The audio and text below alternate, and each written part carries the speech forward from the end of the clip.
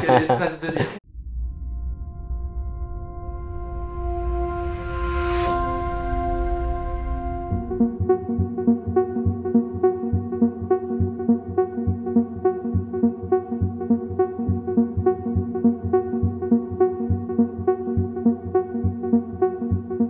Une voile solaire, c'est comme une espèce de grand miroir qui est déployé dans l'espace et qui va venir réfléchir la lumière. Quand les différents photons vont venir frapper la voile, donc cette espèce de grand miroir ultra fin, en fait ça va pousser petit à petit la voile. Et donc l'idée c'est de prendre une charge utile, de l'équiper de cette voile et de la transporter d'un point A à un point B.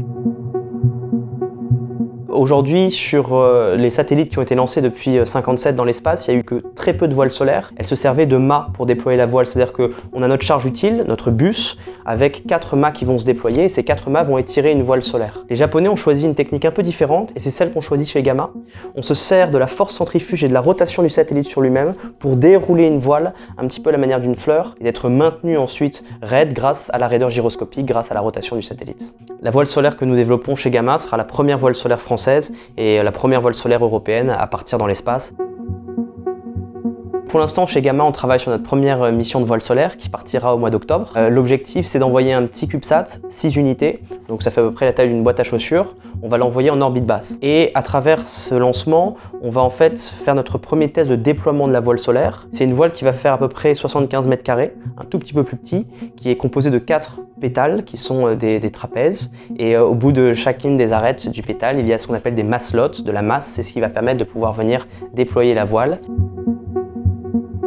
L'objectif, c'est avec la voile solaire de nous passer de carburant et donc de pouvoir miniaturiser encore plus notre système propulsif et donc d'avoir des satellites qui soit emportent davantage de charge utile, soit ont une masse qui est moindre que ceux qui sont équipés avec des types de propulsion classiques. On n'a plus besoin de carburant, on peut équiper des nanosatellites et partir sur des missions très lointaines. Jusqu'à présent, c'était assez compliqué et là, ça permet vraiment de révolutionner l'utilisation du nanosatellite en deep space.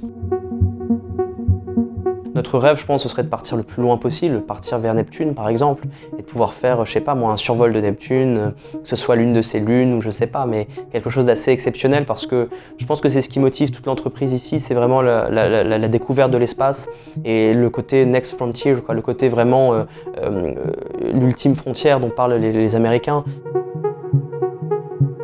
D'abord, nous, on vise l'environnement deep space, c'est-à-dire qu'aujourd'hui, toutes les startups sont plutôt orientées orbite basse, soit pour l'observation de la Terre, soit pour euh, des télécommunications, de l'Internet des objets, etc. etc. Euh, nous, on a envie d'aller beaucoup, beaucoup, beaucoup plus loin que ça. C'est-à-dire qu'au lieu d'évoluer à 400, 800, voire 1000 km autour de la Terre, on va évoluer à des millions de kilomètres autour de la Terre. C'est vraiment notre objectif. Et ensuite, le second euh, très distinctif, j'allais dire le second avantage qu'on a, c'est que on va travailler main dans la main avec les agences spatiales, en ceci que dans une première étape de la vie de la société, Gamma se destine à rendre des missions d'exploration beaucoup plus accessibles d'un point de vue économique.